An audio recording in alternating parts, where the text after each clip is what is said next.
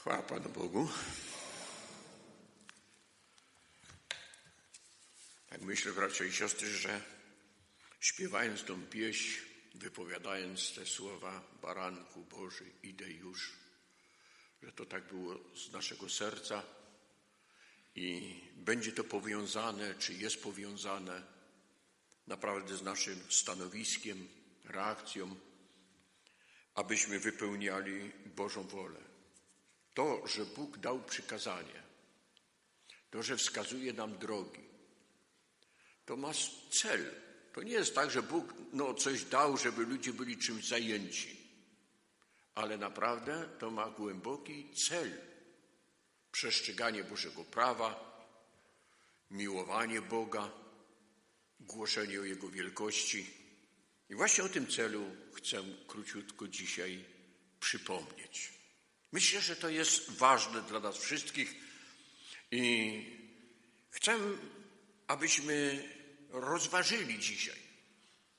Nie jest to nowy temat, bo to jest podstawowy temat, ale abyśmy sobie go przypomnieli, zadając pytanie sami sobie, czy faktycznie w pełnej świadomości oczekujemy przyjścia Pana Jezusa Chrystusa. Może ktoś jest zdziwiony formą tego pytania, ale naprawdę dzisiaj istnieje duże niebezpieczeństwo dla ludzi wierzących. Ja nie mówię o świecie, bo świat nie, nie oczekuje tego.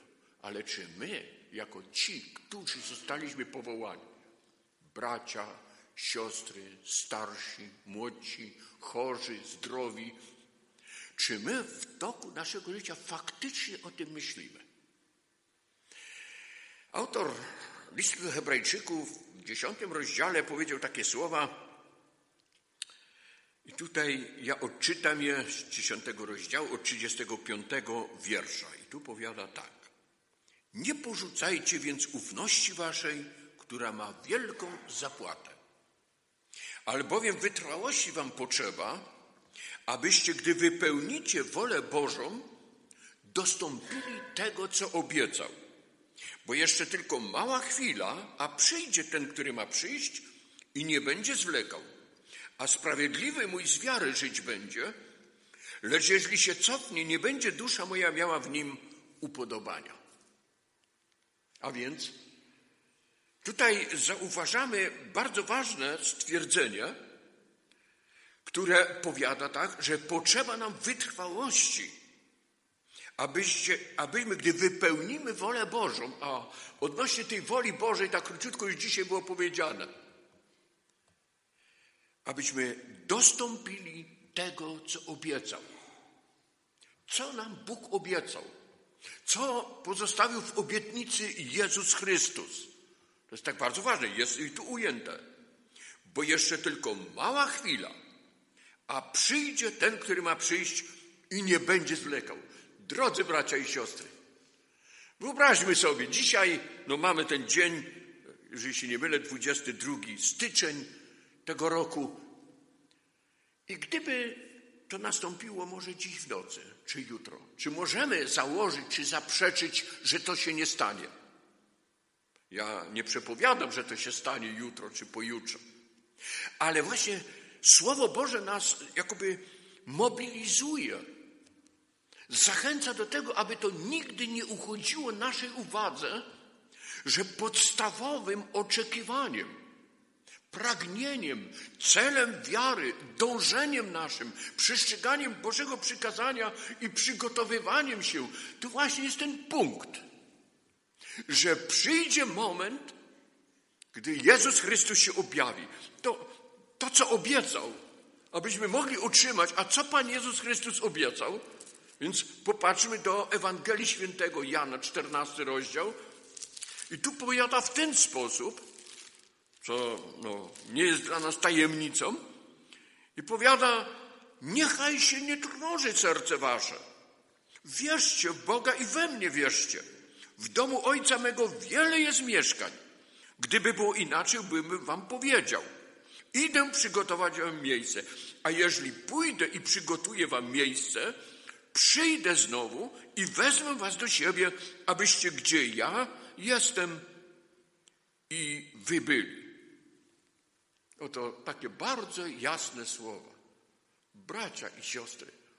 To jest, no, nasuwa, nasuwa mi się takie pytanie, czy faktycznie my tym żyjemy codziennie? Jeżeli my czytamy Księgę Dziejów Apostolskich, listy apostolskie, to zauważamy, że e, możemy powiedzieć, ten centrum tego pragnienia, oczekiwania chrześcijan to było przyjście Chrystusa. Oni nawet pozdrawiali się słowami Maranatha. To znaczy, Pan nadchodzi. Oni tym żyli, oni spodziewali się każdego dnia tego. No, ktoś by mógł powiedzieć, nie doczekali się. Nie, Pan Jezus nie zawiódł. My o tym czytamy w Biblii, ale jakże bardzo ważną jest rzeczą, aby nasze umysły zachowane były w czujności, w tym pragnieniu, w dążeniu. I tutaj, e, jaki cel tego przyjścia jest? No bo mówimy o przyjściu. Przypomnijmy sobie przez to słowo. Apostoł święty Paweł, dużo miejsc Pisma Świętego jest o tym powiada, ale w pierwszym liście do Tesaloniczan, w czwartym rozdziale, to tu są zapisane, może ko przeczytam te trzy wiersze od szesnastego wiersza, mówi tak. Gdy sam Pan na dany rozkaz, na głos Archanioła i trąby Bożej stąpi z nieba, wtedy najpierw powstaną ci, którzy umarli w Chrystusie, Potem my, którzy pozostaniemy przy życiu, razem z Nim porwani będziemy w obłokach na powietrze, na spotkanie Pana i tak zawsze będziemy z Panem. Drodzy, jakże tu wyraźne są słowa, że przyjdzie ten moment, kiedy będzie sygnał, rozkaz Boży, to ci, którzy takiej czujności, w pragnieniu, w oczekiwaniu właśnie wyglądali tego przyjścia, to oni nie stracili na tym, że przeżyli śmierć fizyczną, że Pan ich odwołał. Nie, Pan o nich nie zapomniał. Oni przeszli na mieszkanie do Pana, aby odpoczęli po pracach, po pracach swoich. Ale przyjdzie tu moment tak wyraźnie napisane, że ci, którzy żywi doczekają, ci, którzy pomarli w Chrystusie, to będą pochwyceni, zabrani na powietrze, w obłokach, na spotkanie Pana. I co tu jest powiedziane? I tak zawsze będziemy z Panem. Zawsze. Drodzy, i tu jest ten wiersz, który chciałbym jeszcze przeczytać, to zdanie. Przeto pocieszajcie się nawzajem tymi słowami. To kiedy my spotykamy się, rozmawiamy, to nie tylko tego, który płacze, żeby pocieszyć, czy może tego pocieszyć, no, któremu może bliska osoba zmarła? Ale żebyśmy na co dzień żyjąc, pocieszali się w tych naszych przeżyciach, utrapieniach, trudnościach, oczekiwaniu, żebyśmy się pocieszali. Bracie, siostro, napisane jest, Pan Jezus przyjdzie. I to rychło przyjdzie. On przyjdzie, aby nas zabrać do siebie. Aby zabrać nam tam, gdzie przygotował miejsce. I to jest tak bardzo istotne i ważne, aby to nigdy nie zamierało w nas, aby się nie oddalało, aby nie zostało przysłonięte czymś, co będzie nas odprowadzać od tej żywej nadziei, od tego oczekiwania. I teraz powrócić do tego momentu, tak chcę Was zachęcić, ja samego siebie, abyśmy tak się zapytali samych siebie, czy faktycznie żyjemy tym? Czy oczekujemy tego? Czy pragniemy tego? Czy nam jest dobrze, czy nam jest gorzej? Czy jesteśmy zdrowi, czy nas coś boli? Czy żyjemy tym, czy się pocieszamy nawzajem, mówimy o tym? Bo pojawia się niebezpieczeństwo, o którym jest takie proroctwo napisane, powiedział, przemówił z natchnienia Ducha Świętego apostoł święty Piotr w drugim swoim liście, a w trzecim rozdziale tutaj te słowa, które chcę zacytować w tej chwili. Trzeci rozdział od ósmego wiersza mówi tak. Niech to jedno, umiłowani, nie uchodzi uwagi waszej, że u Pana jeden dzień jest jak tysiąc lat, a tysiąc lat jak jeden dzień. Pan nie zwleka z dotrzymaniem obietnicy, chociaż niektórzy uważają, że zwleka, lecz okazuje cierpliwość względem Was, bo nie chce, aby ktokolwiek zginął, lecz chce, aby wszyscy przyszli do upamiętania. Bóg oczekuje. Może my jako ludzie byśmy nie oczekiwali, abyśmy się poczuli gotowi, no to niech już będzie to przyjście. Ale Pan Bóg patrzy szerzej. Pan Bóg widzi każdego człowieka, okoliczność, sytuację. I tu apostoł święty Piotr powiedział dlatego, że byli tacy ludzie, czy są do dzisiaj tacy ludzie, że mówią, gdzież jest przyobiecane przyjście Jego. Odkąd bowiem zasnęli ojcowie, wszystko tak trwa, jak było od początku stworzenia. Ale mówi, że oni przeoczają coś bardzo ważnego. Przeoczają właśnie to, że Bóg jest łaskawy i miłosierny i nie chce, żeby ktokolwiek zginął. Zobaczmy. Bóg nie chce, żeby ktokolwiek z nas zginął, żeby się pominął z tym. I dlatego jeszcze czasu, jeszcze czasu. Może jeszcze kogoś wyciągnie ze świata, ze zginienia. Może y, pomoże w tym, aby ci, którzy się nawrócili, a nie są gotowi, żeby się mogli przygotować. Drodzy, chcę powiedzieć, że jeżeli faktycznie jest prawdziwa wiara w nas, w to, że przyjdzie Pan Jezus Chrystus, że to nastąpi, że to jest że to jest realne, że to jest Boże Słowo, to na pewno będą widoczne w nas pewne stanowiska, postawy, reakcje. To nie będzie tak, Pan Jezus przyjdzie, ja wiem o tym i robi swoje. Myślę swoje. Postępuję jak uważam. Ale właśnie tutaj, jeżeli faktycznie jest ta wiara, ta pewność, to chciałbym powiedzieć, że w człowieku żyje i rozwija się pragnienie, żeby to nastąpiło. Tak bym pragnął, żeby przyszedł Pan Jezus. Tak bym chciał, żeby przyszedł, żeby to się rodziło. Kiedy człowiek rano wstanie, czy przez dzień, czy jak. I znowu mówię, że nawet gdyby człowiekowi było najlepiej, ale tam, gdzie mamy być zabrani, to przecież nie można porównać z tym, co jest na ziemi.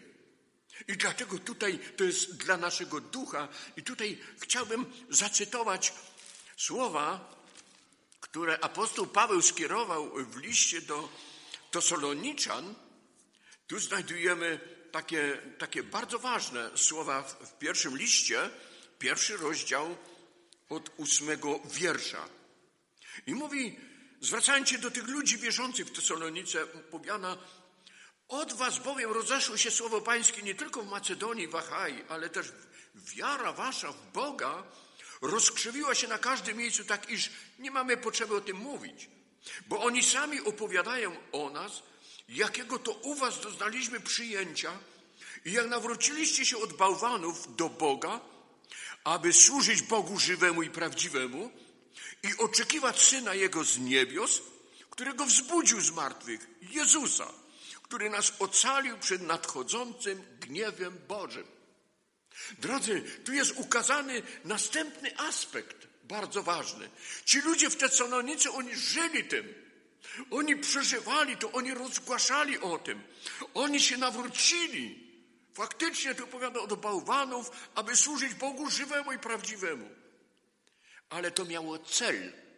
A cel był taki oczekiwać syna jego z niebios którego wzbudził z martwych Jezusa. I tutaj powiada, który nas ocalił przed nadchodzącym gniewem Bożym. Myślę, że rozumiemy to, że to nie tylko to, że tam gdzieś pójdziemy, ale jeżeli ktokolwiek z nas nie będzie gotowy, nie będzie uznany przez Pana jako gotowy w tym dniu, to nie będzie zabrany. To będzie decydował Jezus Chrystus o tym, kogo ta moc zabierze i podchwyci. Ale kto zostanie, to nie będzie ocalony przed gniewem Bożym. Drodzy, rozważmy to głęboko w naszym życiu. Jeżeli, jeżeli jest ustawiczne pragnienie naprawdę, jeżeli ono jest to pragnienie w nas, każdego dnia, to tak jak jest napisane w objawieniu świętego Jana, że duch i oblubienica wołają, przyjdź Panie Jezu. Że to się będzie ciągle wyrywać. I tutaj następny taki bardzo ważny aspekt, na który chcę zwrócić uwagę, to jest oprócz pragnienia, to jest intensywne przygotowywanie się na to wydarzenie. Przygotowujemy się, sprawdzamy się, wnikamy w Słowo Boże, trwamy e, e, w tym Słowie i doświadczamy samych siebie. A apostoł święty Jan w pierwszym liście powiada takie słowa. Tu chcę zacytować pierwszy list, trzeci rozdział, znowu bardzo znane słowa, może od pierwszego wiersza. Patrzcie, jaką miłość okazał nam Ojciec, że zostaliśmy nazwani dziećmi Bożymi i nimi jesteśmy. Dlatego świat nas nie zna, że Jego nie poznał. Umiłowani, teraz dziećmi Bożymi jesteśmy, ale jeszcze się nie objawiło, czym będziemy. Lecz wiemy, że gdy się objawi, będziemy do Niego podobni, gdyż ujrzymy Go takim, jakim jest. I każdy, kto tę nadzieję w Nim pokłada, oczyszcza się tak, jak On jest czysty. Kto pokłada nadzieję? Właśnie w tym, aby otrzymać, aby mieć uczestnictwo, kiedy przyjdzie Pan Jezus, żeby być zabranym. To teraz, w tym czasie, w tych warunkach, ciągle będziemy spoglądać do tego zwierciadła Słowa Bożego. Będziemy oświecani Bożą łaską i cokolwiek będziemy zauważać, że w nas jest w sercu, czy, czy w naszych myślach, czy w naszych reakcjach, czy w naszym charakterze, czy celach, coś, co jest niezgodne ze Słowem Bożym, będziemy to eliminować. No, bo, być może jutro może nastąpić przyjście Pana Jezusa. No być może Pan mnie odwoła z tej ziemi i, i takim, jakim jest stanę przed Nim. Dlatego jak bardzo ważne jest to, abyśmy się przygotowywali do tego, tak jak mówi Słowo Boże. Tu jeszcze wrócę do pierwszego listu apostoła Pawła do Tesaloniczan, piąty rozdział i tu powiada w ten sposób, 23 wiersz.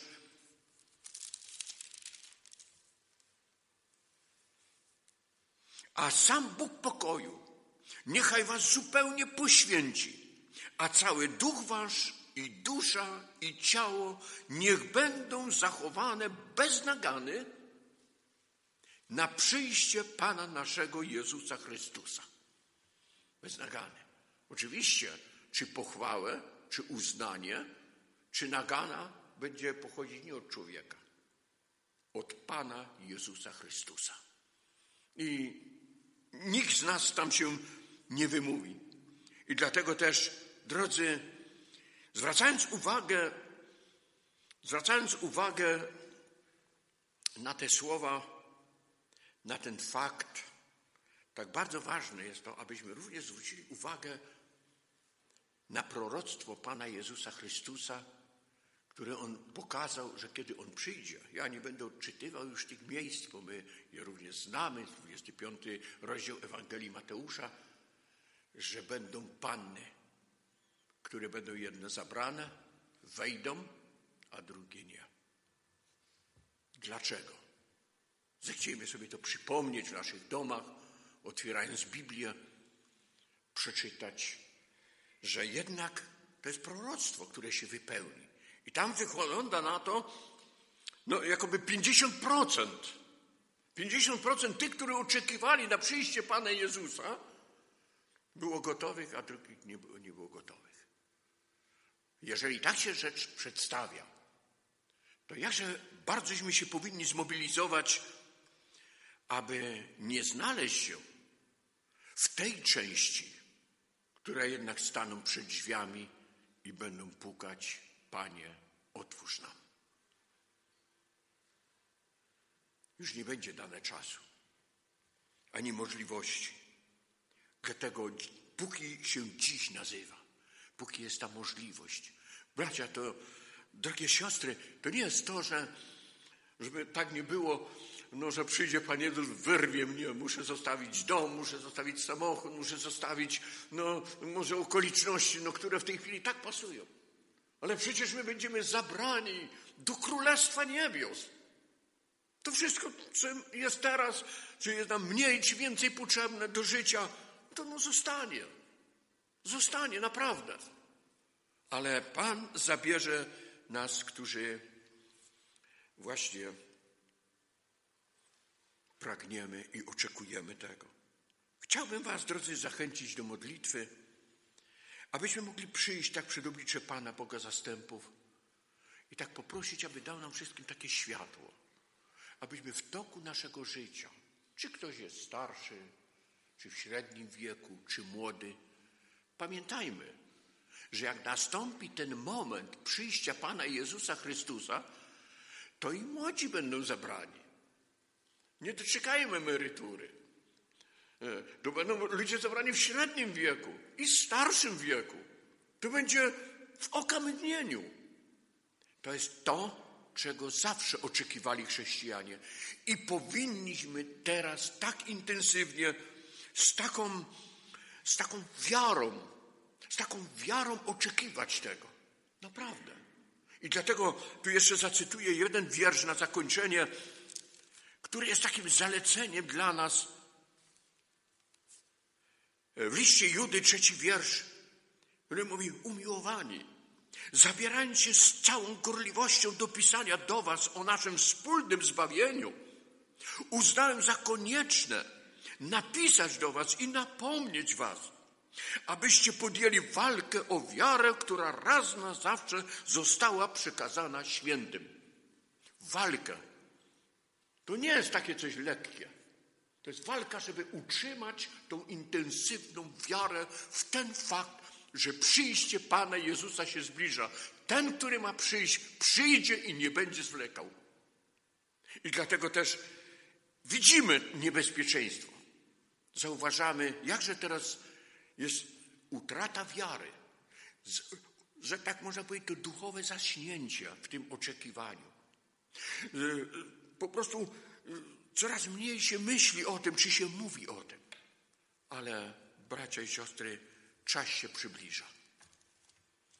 Czas się przybliża i dlatego też przyjdziemy przed oblicze Pana Boga. Przede wszystkim podziękujmy, że nas powołał do tego wielkiego wydarzenia. Podziękujmy za tę świętą ofiarę. Podziękujmy za ten błogosławiony czas, który otrzymujemy. I poprośmy, żebyśmy, żeby Pan dał nam wszystkim takiej tej intensywnej wiary, przekonania, pragnienia przyjścia Pana Jezusa. Dał nam siły i odpowiedzialności sami za siebie na przygotowanie się na ten dzień, aby naprawdę nikt nie pozostał, kiedy Pan Jezus przyjdzie. Przykłońmy nasze kolana i będziemy się w tym temacie modlić.